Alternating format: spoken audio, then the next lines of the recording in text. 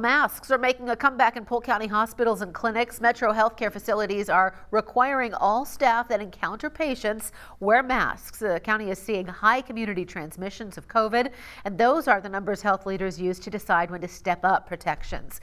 In addition to COVID numbers, health facilities are being impacted by respiratory illnesses, staffing shortages because of sickness, and very sick people needing hospital beds. They also encourage anyone visiting a hospital or clinic to consider wearing a mask.